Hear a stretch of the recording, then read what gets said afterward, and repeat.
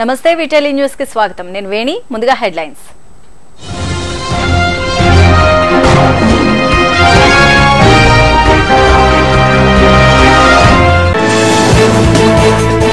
నిన్నటి వరకు ఒకరిపై ఒకరు విమర్శల పర్వం. నేడు ఎదురుపడడంతో ఆత్మీయ పలకరింపులు చేసుకున్న ప్రధాని మాజీ ప్రధాని.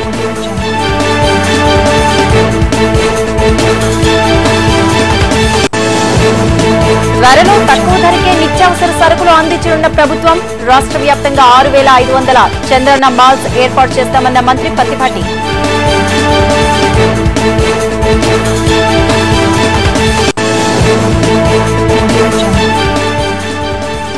విశాఖలో పర్యటించిన railway board chairman Ashwini Lohan KK line పునరుద్ధరణ రికార్డు స్థాయిలో పూర్తి చేయడం భేష్ అని కితాబు.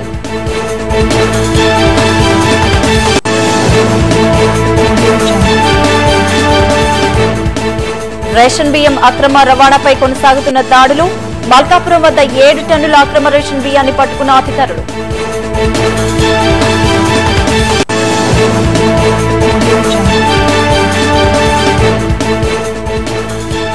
స్మార్ట్ సిటీలో ఇరుకుమయమవుతున్న రోడ్లు ముందు చూపు లేకుండానే చేపడుతున్న అభివృద్ధి పనులు.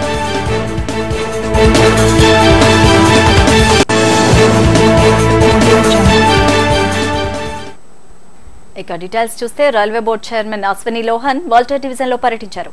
కేకే లైన్ పునరుద్ధరణ పనులు రికార్డు టైంలో పూర్తి చేయడం అద్భుతంగా అభివర్ణించారు. చిమిడిపల్లి వద్ద మరమ్మతు గురైన బ్రిడ్జిను ఆయన స్వయంగా పరిశీలించారు. యాభై ఎనిమిది రోజుల్లో క్లిష్టమైన పరిస్థితుల్లో సిబ్బంది చేసిన పనితీరును ఆయన అభినందించారు. అరకు పర్యటన ముగించుకుని వచ్చిన అశ్విని లోహన్ రైల్వే స్టేషన్లో గల రిజర్వ్డ్ లాంచ్లో మీడియాకు వివరాలను తెలియజేశారు. Where the bridge was? Repaired on the KK line. The bridge was repaired in 58 days. Uh, it's a very, very, you know, very major achievement for the bridge to be uh, repaired in 58 days in a site which is an extremely difficult site. It was a great job done by the entire uh, railway officers and staff, especially civil engineers. And I have basically come to see that and meet the men who have done it. Today's visit was basi- basically confined to that. I just come back from that site and uh, we went around the station itself. మూడు పువ్వులు ఆరు లాభాలుగా నగర అభివృద్ధి పనుల పేరుతో GVMC అధికారులు నిధులను వృధా చేస్తున్నారు ముందు చూపు లేకుండానే రోడ్ల విస్తరణ నగర ప్రజలకు తీవ్ర ఇబ్బందులు కలుగజేస్తోంది దీంతో వాహనదారులకే కాకుండా పాదచారులు కూడా ట్రాఫిక్ సమస్యలు నరకాన్ని తలపిస్తున్నాయి సిటీ బ్యూటిఫికేషన్ పేరుతో జరుగుతున్న అభివృద్ధిలో చవిచూస్తున్న ఇబ్బందిపై వీటెల్లి గ్రౌండ్ రిపోర్ట్.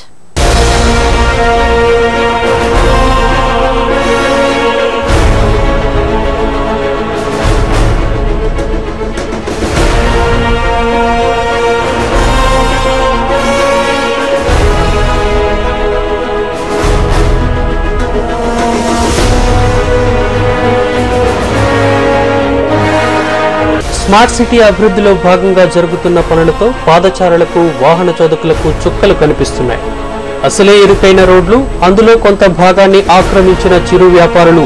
అదేవిధంగా ఫుట్పాత్లను సైతం ఇష్టానుసారంగా వాడేసుకుంటున్న వ్యాపారుల వైన మొత్తం వెరసి రోడ్డుపై ప్రయాణించే నగరవాసులకు నరకం తలపిస్తోంది. తాజాగా సుందరీకరణ పనుల్లో భాగంగా డైమండ్ పార్క్ ప్రాంతంలో రోడ్డు మధ్యలో కొంత భాగాన్ని డివైడర్గా మార్చేందుకు జీవీఎంసీ అధికారులు పనులు ప్రారంభించారు. అయితే ఉన్న రోడ్డునే పార్కింగ్ స్థలంగా ఉపయోగించుకుంటున్న వాహనదారులు తమ వాహనాలను పార్కింగ్ చేసుకునేందుకు వీలు లేక తీవ్ర ఇబ్బందులు ఎదుర్కొంటున్నారు. దీనికి తోడు షాపింగ్ మాల్స్ యాజమాన్యాలు తమ వాహనాలతో పాటు కొనుగోలుదారుల వాహనాలను సైతం పాదచారులు నడిచే ఫుట్పాత్లపైనే పార్కింగ్ చేయిస్తుండడం పరిపాటిగా మారింది.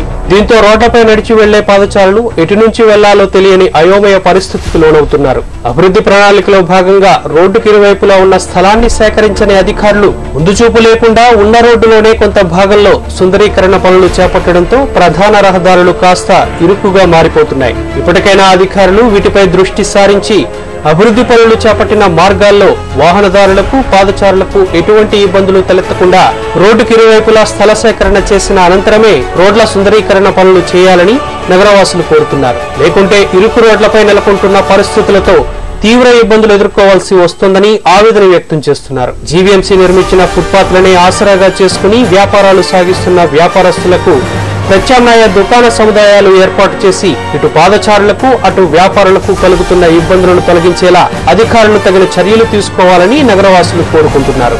రోడ్లు విస్తారంగా డెవలప్ చేయాలంటే ముందు డివైడర్లు పెంచుతున్నారు. కానీ డివైడర్లు పెంచడం వల్ల ఇవి ట్రాఫిక్ పెరగడం వల్ల పార్కింగ్ లేక రావడానికి చాలా మంది వెహికల్స్ రోడ్డుకి సైడ్లను పెట్టడం వల్ల కొద్దిగా యాక్సిడెంట్ జరిగిపోవడానికి కూడా అవకాశాలు ఉన్నాయి. అందుచేత రోడ్లని ముందు వెడల్పు చేసి తర్వాత ఈ డివైడర్లు చేస్తే వాటి మీద మొక్కలు రేటు పెంచినా ఏం చేసినా సరే బాగుంటుంది. రోడ్ల మీద షాపులు ఒకటి పెడుతున్నారు సార్. ఆ షాపులు కూడా వాళ్ళకి అక్కడ ప్లేస్ అంటే ఇస్తే వాళ్ళు వేరే ప్లేస్లో పెట్టుకుంటారు. ఈ రోడ్డు మీద షాపులు పెట్టడం వల్ల ఏంటంటే ఆ షాప్ వచ్చే వాళ్ళు పార్కింగ్ ప్లేస్ లేక అక్కడ వెహికల్స్ పెట్టడం వల్ల కొద్దిగా ట్రాఫిక్ కూడా ఇబ్బంది అవుతుంది. జనాలు కూడా చాలా ఇబ్బంది ఫీల్ అవుతున్నారు. దీనికోసం రోడ్లు కొంచెం డెవలప్ చేసి షాపులు లేకుండా రోడ్ల మీద ఫుట్పాత్ల మీద కూడా ఎక్కడ కూడా షాపులు లేకుండా ఉన్నట్టయితే ఆ షాపులకి వచ్చే జనాలు పార్కింగ్ పెట్టడానికి అవకాశం ఉండదు కాబట్టి రోడ్లు కొంచెం ముందుగా డెవలప్ చేసి షాపులు లేకుండా వాళ్ళకి ఏదైనా ప్రత్యామ్నాయ ఏర్పాటు చేయాలని నేను చెప్తున్నాను.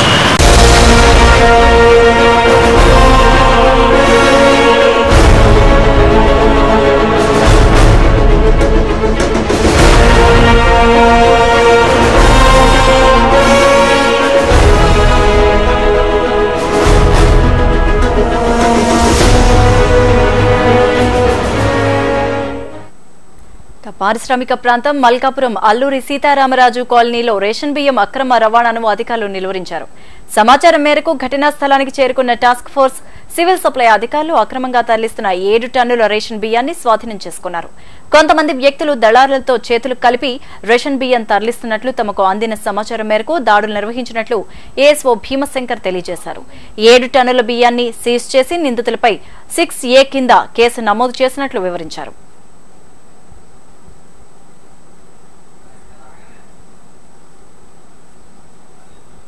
అల్లూరు సీతారామరాజు కాలనీలో ఒక ఇంట్లోనూ సుమారు ఏడు టన్నులు బియ్యం ఉన్నాయని మాకు టాస్క్ ఫోర్స్ వారికి మాకు సమాచారం వచ్చిన వెంటనే టాస్క్ ఫోర్స్ వారు మేము ఇక్కడికి వచ్చి రైస్ మేము పట్టుకోవడం జరిగింది. ఈ రైసు కార్డుదారుల దగ్గర నుండి కొంటున్నట్టు అప్పలరాజు అనే అతను స్టేట్మెంట్ ఇవ్వడం జరిగింది.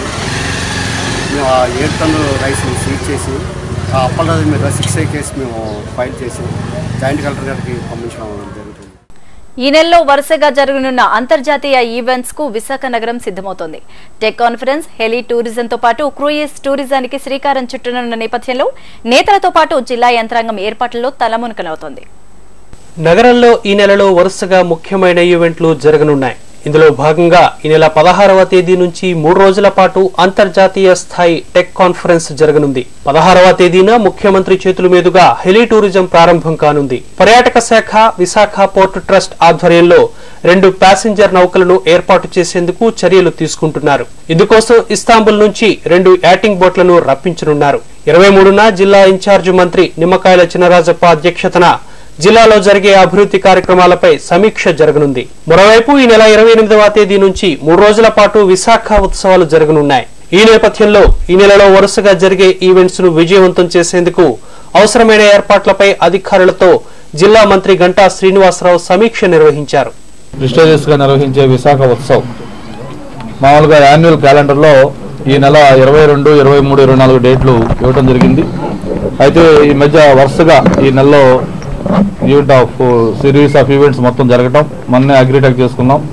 రేపు సిక్స్టీన్ సెవెంటీన్ ఎయిటీన్ మళ్ళీ ఈ టెక్ కాన్ఫరెన్స్ ఉంటుంది. ముఖ్యమంత్రి పార్టిసిపేట్ చేసే కాన్ఫరెన్స్ ఇమీడియట్గా త్రీ ఫోర్ డేస్లో అంటే ఆఫీసర్స్ అందరూ కూడా బాగా వర్క్ లోడ్ ఎక్కువైపోయి రెగ్యులర్ వర్క్ ఎఫెక్ట్ అవుతుందని చెప్పని రిక్వెస్ట్ చేశారు. దాన్ని ఒక సిక్స్ డేస్ పోస్ట్పోన్ చేసి twenty eighth twenty ninth thirty eighth Visakhotsavam చేయాలనేది ఒక ప్రాథమికంగా ఒక డిసిషన్ అనుకున్నాం. అది కన్సర్న్ మన మినిస్టర్ గారికి అలాగే సెక్రటరీ గారికి అందరూ కూడా చెప్పి ఎవరైతే ఈవెంట్ మేనేజర్ వాళ్ళు కూడా కోరా. యాక్చువల్గా అయితే twenty nine thirty thirty first మూడు రోజులు చేద్దాం. Thirty first December thirty first కాబట్టి ఈ రెండింగ్ బాగుంటుందని చెప్పి సండే అనుకున్నాం. అయితే ఆర్గనైజర్స్కి ఏవైతే ఆ ప్రోగ్రామ్స్ ప్లాన్ చేసుకున్నారో థర్టీ ఫస్ట్న కుదరట్లేదు కాబట్టి twenty eighth twenty nine thirty eighth చేయాలని ఒక స్థలం కూడా అనుకున్నాం. దాన్ని కూడా కన్ఫర్మ్ చేయబోతా ఉన్నాం. ఈ విధంగా మొత్తం ఈ సిరీస్ ఆఫ్ ఈవెంట్స్ సంబంధించి చూసుకున్నాం. దాంతోపాటు రేపు పదహారున ముఖ్యమంత్రి గారి చేతుల మీదుగా ఏదైతే వైజాగ్ ఒక స్పెషల్ అట్రాక్షన్ అనుకుంటున్నామో హెలి టూరిజం. దాన్ని కూడా పర్మిషన్ అంతా వచ్చింది. ఆ, పవన్ హ్యాండ్స్ వాళ్ళతో మాట్లాడడం జరిగింది. వాళ్ళు హెలికాప్టర్ అయితే కూడా తెచ్చి పెడతా ఉన్నారు. ఐఎన్ఎస్ డాగా ఏటీసీ వాళ్ళంతా కూడా మాట్లాడి రేపు పదహారున వీలైతే ముఖ్యమంత్రి గారి చేతుల మీదుగా ఆ హెలి టూరిజం స్టార్ట్ చేయాలని అదొకటి ఫైనలైజ్ చేశాం. దాంతోపాటు ఇప్పుడే ఎమ్మెల్యే గారు అలాగే పోర్ట్ చైర్మన్ వాళ్ళందరితో కూడా మాట్లాడి విశాఖలో ఈ టూరిజం సంబంధించిన ఈ యాచ్లు అలాగే టూరిజం ప్యాసింజర్ బోట్లు కూడా పెట్టాలి. దానికి గత కొంతకాలంగా కూడా అనుకున్నప్పుడు లాస్ట్ టైం ఐఎఫ్ఆర్లో టెంపరీగా మనం తయారు చేసినప్పుడు కొన్ని టెక్నికల్ ఇష్యూస్ అలాగే లోకల్ ఇష్యూస్ రావడంతో దాన్ని వాయిదేయడం జరిగింది. దాన్ని ఎమ్మెల్యే గారు అందరూ కూడా మాట్లాడి దాన్ని సార్ట్అవుట్ చేశారు. అది కూడా స్టార్ట్ చేయాలని ఇస్తాంబుల్ నుంచి రెండు యాచ్లు ఈ నెలాఖరులో కల్లా వస్తాయని చెప్పని వాళ్ళు కన్ఫర్మ్ చేశారు. విశాఖ అందాలను మరింత సుందరంగా తిలకించేందుకు విహంగ వీక్షణం ప్రాజెక్టు మొదలు కానుంది ఆంధ్రప్రదేశ్లో మొట్టమొదటి హెలీ టూరిజం విశాఖలో ప్రారంభానికి సిద్దమవుతోంది ఈ నెల పదహారున సీఎం చంద్రబాబు ఈ ప్రాజెక్టును లాంఛనంగా ప్రారంభించనున్నారు. విశాఖ పర్యాటకులకు ఈ నెల పదహారు నుంచి హెలీ టూరిజాన్ని అందుబాటులోకి తీసుకురానున్నారు. ముఖ్యమంత్రి చంద్రబాబు చేతుల మీదుగా దీనిని ప్రారంభించనున్నారు. హెలి టూరిజం ప్రారంభం రోజున నిబంధనల ప్రకారం డబుల్ ఇంజన్ హెలికాప్టర్ తదుపరి పర్యాటకుల కోసం సింగిల్ ఇంజన్ హెలికాప్టర్ను అందుబాటులోకి తేనున్నారు హెలి టూరిజాన్ని ప్రయోగాత్మకంగా మూడు నెలల పాటు నడిపిన అనంతరం ప్రజాదరణ బట్టి శాశ్వతంగా నడిపే విధంగా ఏర్పాట్లు చేయనున్నారు.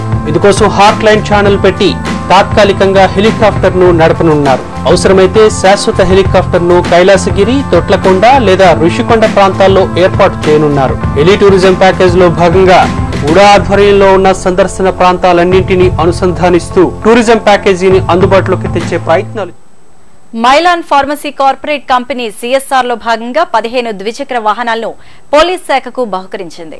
పోలీస్ కమిషనరేట్ ప్రాంగణంలో నూతన ద్విచక్ర వాహనాలను పోలీస్ కమిషనర్ టి యోగానంద్ ప్రారంభించారు. ఈ వాహనాలను స్పెషల్ బ్రాంచ్కు కేటాయిస్తున్నామని సిపి యోగానంద్ తెలియజేశారు. ఈ పదిహేను వాహనాలకు జీపీఎస్ ఏర్పాటు చేసి పోలీసు శాఖకు ఇవ్వడం జరిగిందని Mylan company senior vice president Mallikarjuna Rao అన్నారు. వాహనాల కొనుగోలుదారులకు పదహారు పాయింట్ ఐదు లక్షల రూపాయలు సీఎస్ఆర్ నిధులు ఖర్చు చేసినట్లు తెలియజేశారు.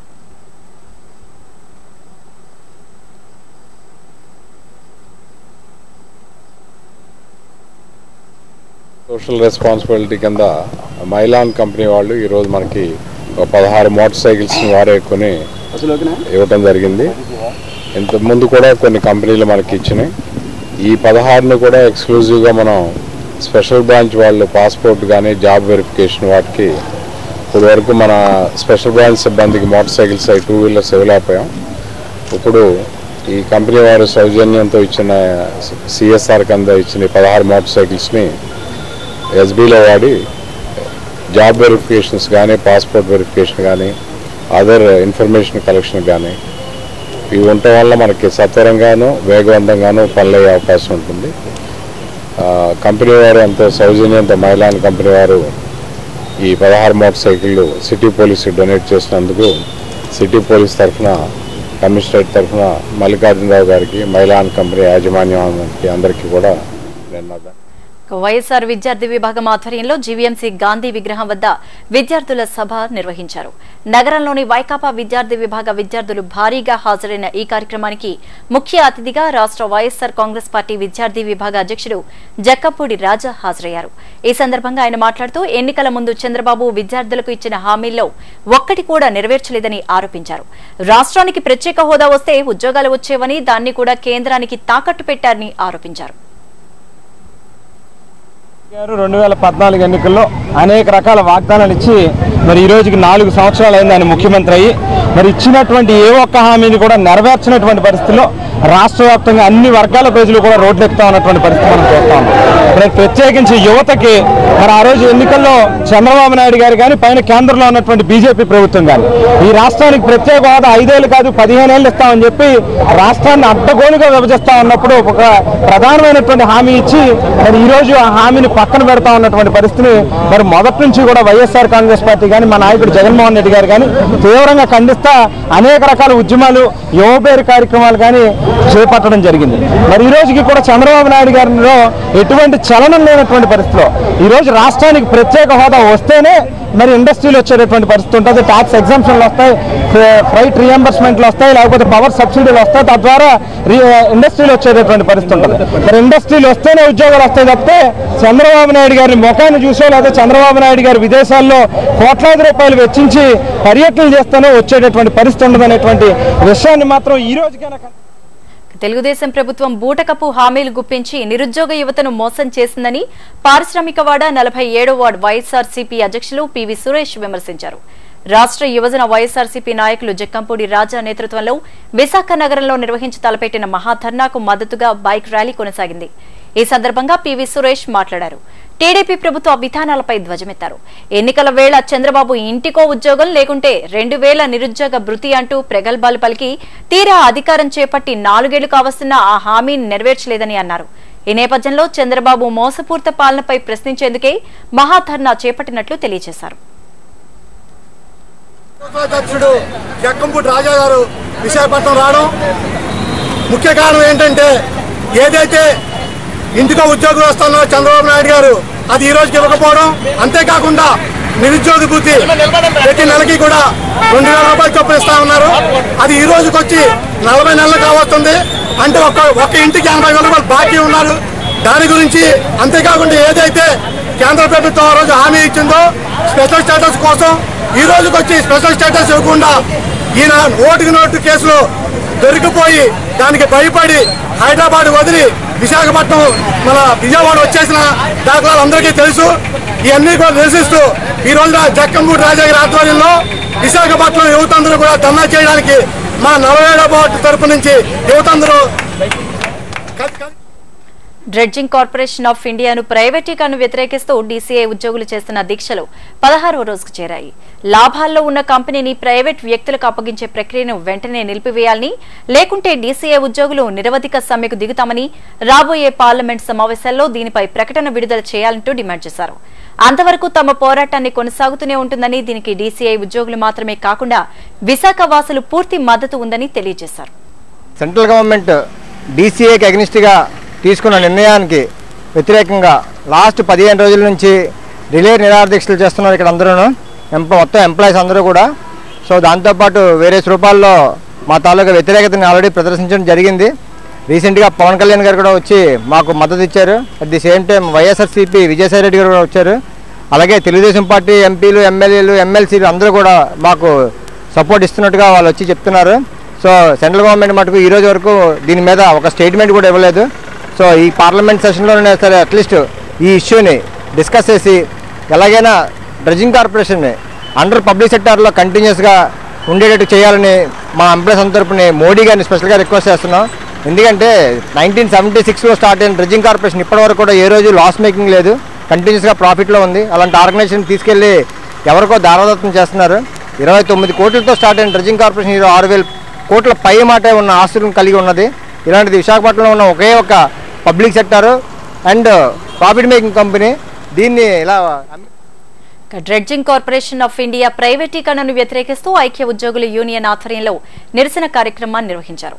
లాభాల బాటలో నడుస్తున్న డీసీఐని ప్రైవేటీకరిస్తుండడం వల్ల దేశంలో పోర్టులు తీవ్రంగా నష్టపోతాయని ఇప్పటివరకు దేశంలో పోర్టుల అభివృద్ధికి ఎంతో దోహదపడ్డ డీసీఐని ప్రైవేటీకరించబోవద్దని నినాదాలు చేశారు. ప్రధాని మోదీ తలపెట్టిన సాగరమాల ప్రాజెక్టులో డీసీఐ పాత్ర ప్రధానమైందని తెలియజేశారు.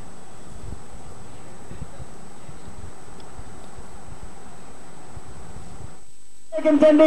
వ్యతిరేకించండి డీసీఐ ప్రైవేటీకరణ రాజస్థాన్ వెంకటేశ్ ఆశయాలను.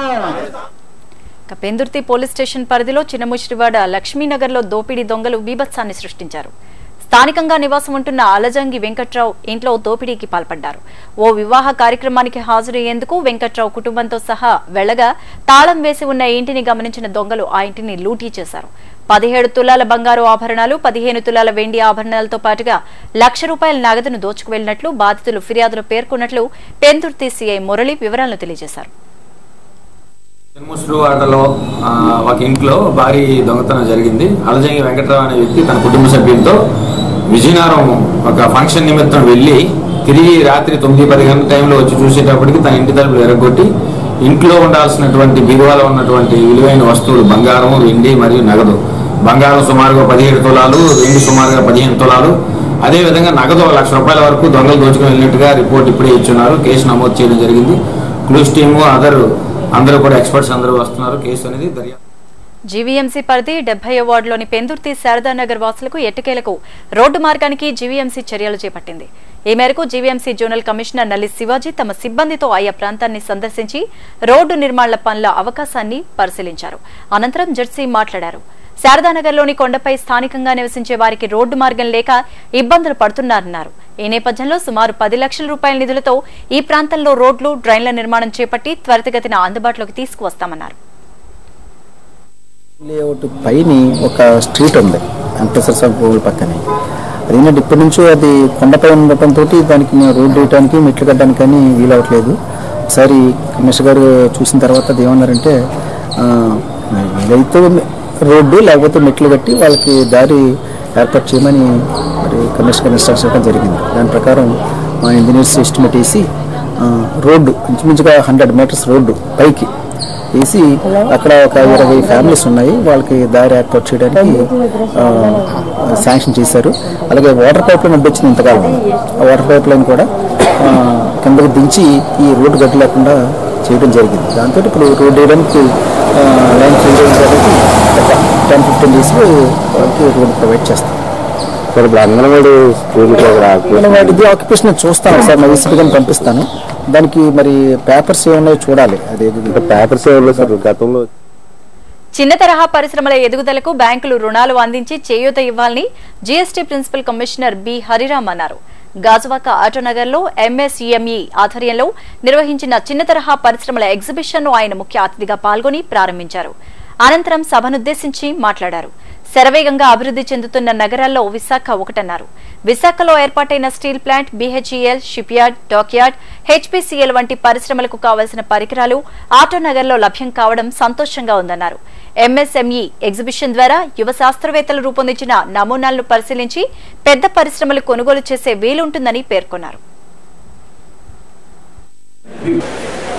MSME sector place a in nurturing the talent from the very from the bottom of the the class of investors that is people who have less capital. Means the ministry which provides lot of hand holding by giving by conducting training programs to develop the skills of the entrepreneurs and also the the workmen engaged in various MSME also guiding them how to apply for a loan from a financial institutions, how to identify the prospective buyers, how to adapt to the new technology. పారిశుధ్య కార్మికుల పాలిట శాపంలా పరిణమించిన GO రెండు వందల డెబ్బై తొమ్మిదిని తక్షణమే ప్రభుత్వం రద్దు చేయాలని సిఐటియు గాజువాక ప్రధాన కార్యదర్శి సుబ్బారావు డిమాండ్ చేశారు. ఈ మేరకు జీవీఎంసీ యాభై రెండో వార్డు పరిధిలో ఏర్పాటు చేసిన పారిశుధ్య కార్మికుల సమావేశంలో సుబ్బారావు ముఖ్య అతిథిగా పాల్గొని రెండు వందల డెబ్బై తొమ్మిది జీవో ద్వారా కార్మికులకు చేకూరే నష్టాన్ని వివరించారు. ఈ సందర్భంగా కార్మిక నేత సుబ్బారావు మాట్లాడారు. కార్మికుల పాలిట గుదిబండలా మారిన జీవో రద్దుకై అనేక విధాలుగా ప్రభుత్వంపై ఒత్తిడి తీసుకువచ్చినా పట్టించుకున్న దాఖలాలే లేవన్నారు. ఈ నేపథ్యంలో ప్రభుత్వంపై తీవ్ర ఒత్తిడి తెచ్చేలా ఈ నెల పద్దెనిమిది నుంచి నిరవధిక సమ్మెకు కార్మికులు సిద్దమవుతున్నట్లు తెలియజేశారు. ఇంతవరకు మీరు ఏదైతే పదకొండు వందల నుంచి పదకొండు వేల రూపాయల జీతం సాధించుకున్నారో ఈఎస్ఐ పిఎఫ్ సెలవులు సాధించుకున్నారో ఏదో మీటింగ్ పెట్టుకుందామన్నా స్వేచ్ఛగా కూర్చొని మాట్లాడుకునే హక్కు సాధించుకున్నారో ఇవన్నిటిని హరిస్తూ ఒక జీవో తెచ్చాడు. జీవో తెచ్చి సంవత్సరం ఆరు నెలలు అయింది. ఇంతవరకు రాష్ట్ర వ్యాప్తంగా మనం బలంగా ఉన్నాం కాబట్టి సిఐటిగా గట్టిగా ఘర్షణ పడి నిలబెట్టి దాన్ని అమలు చేయకుండా ఆపగలుగుతున్నాం. కానీ చంద్రబాబు కూడా టైం దగ్గర పడింది. మళ్ళీ ఎన్నికలకు వెళ్ళాలి కాబట్టి ఇంకప్పుడు అమలు చేయకపోతే చేయలేను కాబట్టి అమలు చేయాలని చెప్పి ఆయన నిర్ణయం చేసుకున్నాడు. నువ్వు అమలు చేస్తే మేము ఊరుకోమని చెప్పేసి ఈ నెల పద్దెనిమిదో తారీఖు నుంచి మనందరం కూడా సమ్మెకి వెళ్ళాలని చెప్పి నిర్ణయం చేశాం. కాంట్రాక్ట్ కార్మికుల సంస్థలే కాదు. పన్నెండు ఉద్యోగులు కూడా అంటే మనకంటే వాళ్ళకి ఉద్యోగం గ్యారంటీ స్థిరత్వం ఉండొచ్చు కానీ అనేక సమస్యలు వాళ్ళ పరిష్కారం కాకుండా ఈ రోజు కూడా ఇబ్బంది పడుతూ ఉన్నారు. ముఖ్యంగా విశాఖపట్నానికి జీరో వన్ జీరో ఇస్తే మూడు వందల నలభై ఎనిమిది కోట్ల రూపాయలు బడ్జెట్ మిగులుతుంది మన జీతాలు. దాని ప్రజల సంక్షేమం ఖర్చు పెట్టవచ్చు అని చెప్పేసి మనం చెప్పడం జరిగింది. రామచంద్రపురం ఎమ్మెల్యే తోట త్రిమూర్తులను శిక్షించాలని దళిత ప్రజా సంఘాల నేతలు డిమాండ్ చేస్తున్నారు. తూర్పుగోదావరి జిల్లా వెంకటాయపాలెం దళితులపై దాడులకు పాల్పడిన ఎమ్మెల్యే తోట త్రిమూర్తులతో సహా అతని అనుచరులను కఠినంగా శిక్షించాలని కోరుతున్నారు. బీజేఎఫ్ ప్రెస్ క్లబ్లో జరిగిన మీడియా సమావేశంలో పీఓడబ్ల్యూ రాష్ట్ర ప్రధాన కార్యదర్శి ఎం లక్ష్మి ఓపీడీఆర్ అధ్యక్షులు సి భాస్కర్ రావులు పాల్గొన్నారు. త్రిమూర్తులు అతని తమ్ముడు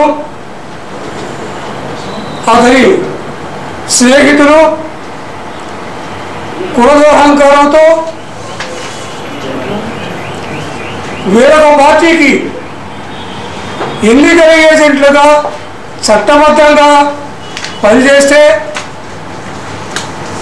తన పార్టీకి వ్యతిరేకంగా ఉన్నటువంటి ఆనాడు దళిత బహుజనుల ఆశాజ్యోతిగా ఆనాడు ముందుకు ఈ రాష్ట్రంలో దేశంలో ముందుకు వచ్చినటువంటి బిఎస్పి పార్టీకి ఎన్నికల ఏజెంట్లలో ఉండి ఆ ఎన్నికల బూతుల్లో తెలుగుదేశం పార్టీ తరఫున రిగ్గింగ్ చేయకుండా అడ్డుకున్నందుకు అంటే ఒక చట్టబద్ధంగా వ్యవహరించినందుకు న్యాయబద్ధంగా వ్యవహరించినందుకు దళితులై ఉన్నందుకు కుల దురహంకారంతో అధికార దురహంకారంతో ఆ తోట త్రిమూర్తుల వర్గం మరి ఐదుగురు దళితుల మీద దాడి చేసింది. తీవ్రంగా కొట్టింది. ఇక విజేఎఫ్ ఆధ్వర్యంలో జర్నలిస్టుల క్రికెట్ పోటీలు పోర్టు స్టేడియంలో ఘనంగా ప్రారంభమయ్యాయి. పన్నెండు టీంలు ఈ పోటీల్లో పాల్గొంటున్నాయి. ఈ కార్యక్రమానికి ముఖ్య అతిథులుగా Pendurthi MLA Bandaru Satyanarayana Murthy greater commissioner Harinarayan AU VC నాగేశ్వరరావులు హాజరయ్యారు. ఈ సందర్భంగా బండారు సత్యనారాయణ మాట్లాడుతూ వృత్తిలో భాగంగా ఒత్తిడికి లోనవుతున్న జర్నలిస్టులు ఆట విడుపుగా ఎలాంటి క్రీడల్లో పాల్గొనడం సంతోషంగా ఉందని తెలియజేశారు. విశాఖ జిల్లాలో ఆల్ ఓవర్ ఇండియాలో మన స్టేట్లో తెలంగాణ మేము అనంతపురం నంజాల ఎలక్షన్స్కి వెళ్తే ఆ వినాయక వచ్చి కలిశారు నన్ను. చంద్రనాథ్ గంట సార్ మీ విశాఖపట్నం చాలా బాగుంది సార్. మాకు మంచి ఆదిత్యం అని చెప్పి కర్నూలులో చెప్పడం జరిగింది. అంత ఆదిత్యం ఇచ్చి రాష్ట్రంలోనే ఒక ప- ఒక పేరు వచ్చే విధంగా మన విజిఎఫ్ కానీ ఇతర సంఘాలు కానీ రాజీ పోరాటం తాగుతున్నారు అయితే ఇక్కడ ఒకటే బాధ అనిపిస్తుంది. ఇందాక అన్నారు స్టీల్ ప్లాంట్తో పోటీ పెడుతున్నామని. స్టీల్ ప్లాంట్లో ఎవరైతే క్రీడాకారులు ఉంటారో వాళ్ళకి రాజకీయ గుర్రాల్లాగా వాళ్ళని చూస్తుంటారు అలాగే పోలీసులు ఉన్న స్పోర్ట్స్ ఎవరు ఉంటారో దత్తపుత్రులా చూస్తూ ఉంటారు. ఇందులో వాళ్ళకి సపరేట్ డ్యూటీలు ఉండవు బాధ్యతలు ఉండవు రోజు కోర్టుకు వెళ్ళడం ఆడుకోవడం రావడం భోజనం చేయడం పడుకోవడం పని. మీకు అలా కాదే. కమిషన్తో పరిగెట్టాలా మాతో పరిగెట్టాలా రాజకీయ నాయకులతో పరిగెట్టాలా? టైం ఉండదు సిస్టమ్ ఉండదు ఒక విధానం ఉండదు. కానీ ఇన్ని రంగాలుగా ఉంటూ కూడా మరి మీలో కూడా మరి స్టీల్ ప్లాంట్ తోటో పోలీస్ పోలీస్ తోటో జిఎంసీ తోటో ఆంధ్రప్రదేశ్తో పోటీ పడతారంటే నైపుణ్యత ఉన్న క్రీడా యువత నిర్దేశించుకున్న లక్ష్యాలను సాధించేందుకు ఈ నెల ఇరవైన కెరీర్ కాన్ఫరెన్స్ పేరిట సదస్సు జరగనుంది. ప్యూర్జియన్ సంస్థ ఆధ్వర్యంలో జరిగే ఈ సదస్సు మదిలపాలెం కళాభారతి ఆడిటోరియంలో నిర్వహించున్నారు ఈ కార్యక్రమాన్ని రాష్ట్ర రాష్ట్ర మంత్రి గంట శ్రీనివాసరావు ప్రారంభించనున్నట్లు సంస్థ ప్రతినిధి వినోద్ తెలియజేశారు. కార్పొరేట్ నిపుణులచే ఈ సదస్సు నిర్వహించనున్నట్లు వెల్లడించారు. యువత సాధించగలిగే లక్ష్యాలను ఏర్పరచుకునే విధానంపై కార్యక్రమంలో అవగాహన కలిగించనున్నట్లు వివరించారు. ఈ అవకాశాన్ని యువత సద్వినియోగం చేసుకోవాలంటూ కోరారు. On setting achievable goals actually ఆ మార్గంలో వాళ్ళకి వచ్చే చిన్న చిన్న ప్రాబ్లమ్స్ని సాల్వ్ చేయడానికి కాన్ఫరెన్స్లో ఒక బ్రీఫ్గా కార్పొరేట్ ఎక్స్పర్ట్స్ అని చెప్పిస్తున్నాము సో ఈ కాన్ఫరెన్స్కి మనకి ముఖ్య అతిథులు గౌనీయులు విద్య మరియు హ్యూమన్ రిసోర్స్ డెవలప్మెంట్ మంత్రి గారు గంటా శ్రీనివాసరావు గారు అండ్ మన ఆంధ్ర ఆంధ్ర యూనివర్సిటీ రిజిస్ట్రార్ గారు ఉమా మహేశ్వరరావు గారు and centurion university vice chancellor GSN Raju గారు. సో యాక్చువల్లీ ముఖ్యంగా ఈ మనం ఎందుకంటే ఈ కాన్- ఈ కాన్ఫరెన్స్ కండక్ట్ చేస్తున్నాం.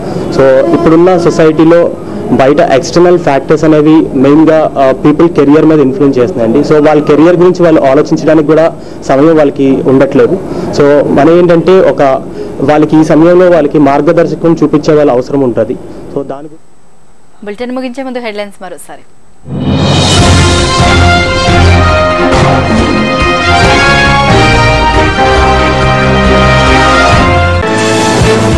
నిన్నటి వరకు ఒకరిపై ఒకరు విమర్శల పర్వం నేడు ఎదురుపడ్డంతో ఆత్మీయ పలకరింపులు చేసుకున్న ప్రధాని మాజీ ప్రధాని.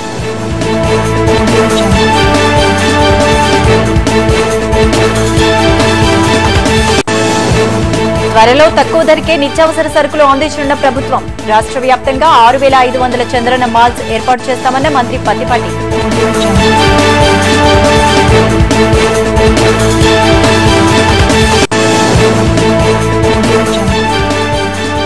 విశాఖలో పర్యటించిన railway board chairman Ashwini Lohan KK line పునరుద్ధరణ రికార్డు స్థాయిలో పూర్తి చేయడం భేష్ అంటూ కితాబు.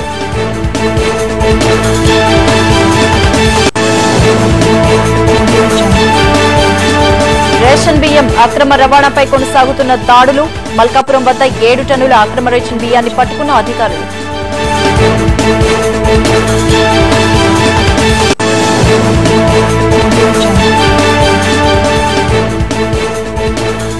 స్మార్ట్ సిటీలో ఇరుకుమయమవుతున్న రోడ్లు ముందు చూపు లేకుండానే చేపడుతున్న అభివృద్ధి పనులు.